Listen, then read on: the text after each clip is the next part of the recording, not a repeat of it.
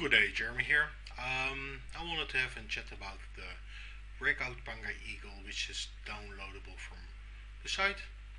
If you download it from the site and install it on your MetaTrader, uh, you will see it in your indicator list. I always make an extra folder for uh, where I download the indicators from and now it's from the AtoZ uh, uh, forexsite.com and then you will have all indicators together. We want to have a chat about the breakout Panca Eagle so what we're going to do we're going to drag it on the chart. You will see the, the settings, the inputs of it. You will see the visualization on which time frames you want to show it. I, I want to show it on the time frames lower than one hour. And maybe you want to see it on a daily you can click on a daily as well is what what you want to show it. Make sure you allow DLL import and then click OK because it is on a daily and that's the reason why I don't like the daily to show it on daily you will see something like this. If you put it on one hour you will see the boxes forming right okay uh, what I always do is I magnify everything to the fullest, go back two times or three times so you have a nice overview of the chart.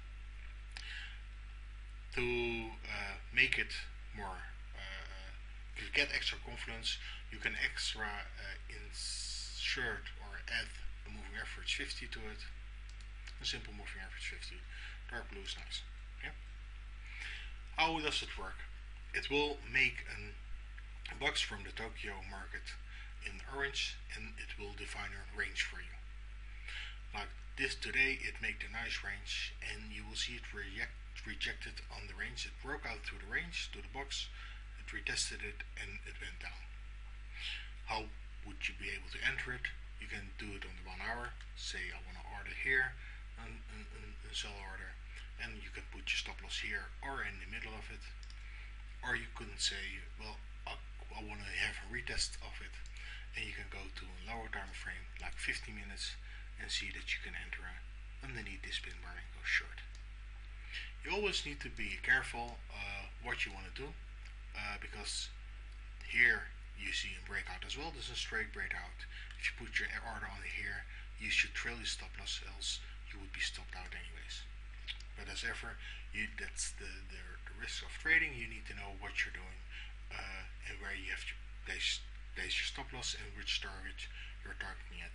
If you have a nice uptrend, the hopefully it will break out to the upside. If you have a downtrend, you could be able to get the breakout to the downside.